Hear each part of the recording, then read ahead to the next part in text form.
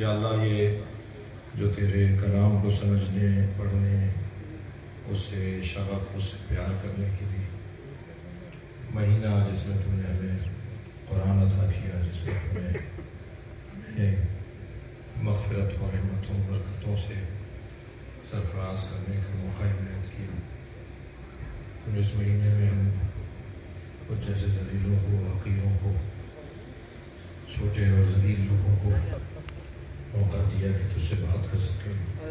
तेरी तरफ़ से इनायत का और तेरी जानब से ख़ास अल्ताफ़ करम और तवजहत का ये महीना।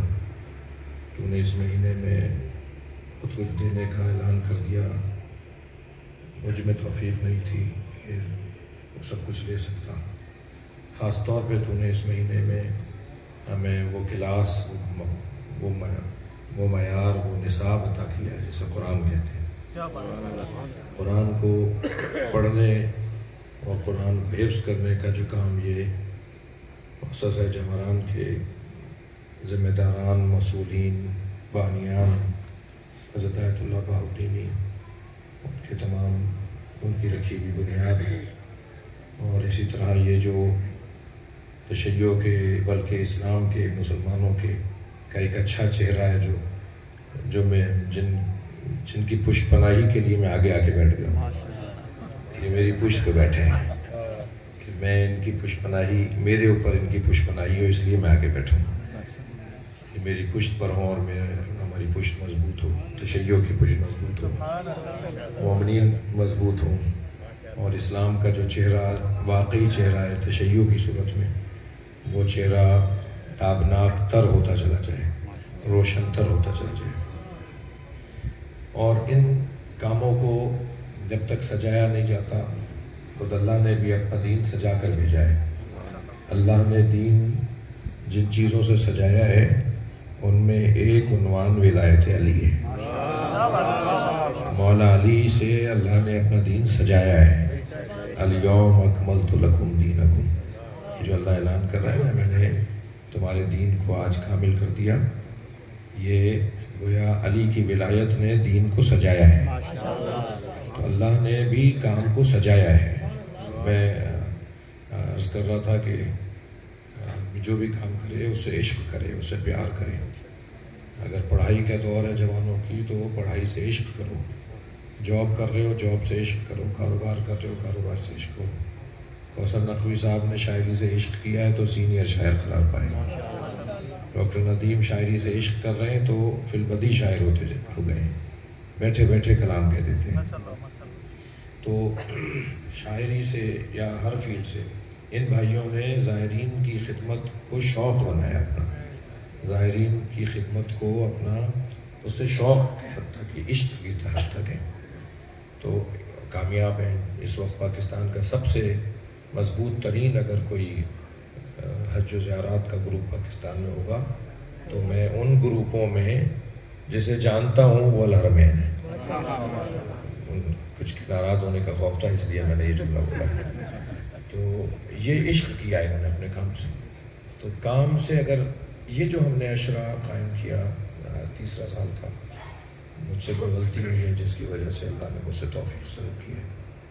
कुछ दिन नहीं पढ़ सका तो ये जो इशरा कायम किया ये सजेगा नहीं सज, उसको सजा कर नहीं पेश करेंगे। सर से उतार फेंकने का काम तो नहीं था ना? इसलिए इन, इन लोगों ने भाइयों ने महल्ले वालों ने गली वालों ने आप सबने और शायरों ने कुरान से मोहब्बत कुरान से प्यार।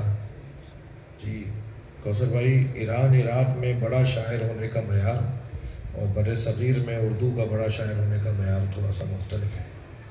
बर सग़ीर में आप लोगों से मैंने सुना है कि बड़ा शायर वो है, जो मरसिया कह दे और ईरान, इराक शायर, ईरान, इराक में बड़ा शायर वो है, जो नहजुलबलागा को नज़म कर दे जो शायर वहाँ दावेदार होता है, या लोग उसे कहते हैं बड़ा शायर है तो पूछा जाता है नहजुलबलागा नज़म कर दी?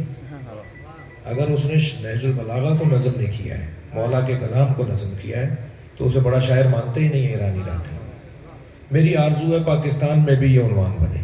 मैं मरसिया कहने से नहीं, मरसिया कहना हम ईरान इराकियों से आगे जाना चाहते हैं। हम हर एक से आगे जाना चाहते हैं, ईरान इराकी नहीं, बल्कि हम हर एक से आगे जाना चाहते हैं। जब हम हर एक से आगे जाना चाहते हैं फस्तबिल खैरात, कुरान कह रहा है, नेकी के कामों में मुकाबला करो। कुरान कह रहा है, साबिकून साबिकून मुकर्रबून, आगे बढ़ने वाले, आगे चलने वाले। कुरान कह रहा है कि लेबलकुम अयुकुम अहसन अमला।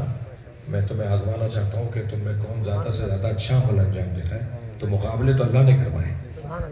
अल्लाह हमें मुकाबलों में देखना चाहता है। तो जहाँ क्रिकेट का, हॉकी के मुकाबले में अल्लाह हमें देखना चाहता है, वहाँ हमें अफकार, नज़रियात में भी तो हमें मुकाबले में अल्लाह देखना चाहता है। दुनिया हमसे नज़रिया लेना हम उनसे नज़रिया क्यों लें? जिनके पास जिनके पास मदीना और मक्का हो, जिनके पास नजफ और करबला हो वो वाशिंगटन की सर रहनुमाई करेंगे ना। वो अमेरिका की रहनुमाई करेंगे ना। वो रूस की रहनुमाई करेंगे ना। वो हमारी क्यों करें रहनुमाई? उनके पास कौन सा अली है? उनके पास कौन सी फातिमा जहरा है? तो हमें मुकाबलों में आगे आना है। तो पाकिस्तान बर सगीर में अगर मरसिया कहने वाला बड़ा शायर है तो उसमें हम प्लस करेंगे कि बर सगीर में बड़ा शायर हुआ है कि जो मरसिया और नहजुल बलागा को नज़म करता हूँ। और जिसने नहजुल बलागा को नज़म कर दिया, मैं इन कुरान, इनके सीनों में है, ये बहुत मुबारक लोग हैं, ये बहुत बड़े लोग हैं जो हमारे साथ बैठे हैं, जिनके साथ हम बैठे हैं। अगर नहजुल बलागा हमारे शायरों ने नजम करना शुरू कर दी जो तो जो अफकार का, की बिगाड़ है, जो फिक्री बिगाड़ है, यानी ताजुब है कि एक शायर एक ही कलाम में उठपटांग इतना, पहला शेर कुछ और कह रहा है, तीसरा शेर कुछ और कह रहा है पाँचवें शेर में ये अपने ही खिलाफ नजम कर रहे हैं अपना कलाम। यानी एक ही बारह आठ, नौ शेरों में छह नज़रिए बयान कर रहा है वो मुतजाद। वो उसकी नहीं, ये उस्तादों में भी है। ये जिनके उस्ताद हैं उनका जब उस्ताद का ये हाल होगा तो शागिदों का क्या? होगा तो वो कब सही होगा कौशल भाई, वो का सही होगा कि जब उन्होंने अली की फ़िक्र से आगाही हासिल कर तो इनशाला एक वक्त आए तो उसी जज्बे के तहत डॉक्टर नदीम का मैं इंतहाई ममनून उसी जज्बे के तहत हमने कुरान पर नज़में कहलवाना शुरू की हैं अलहमदिल्ला और भी ये फ़िक्र आम हो रही है।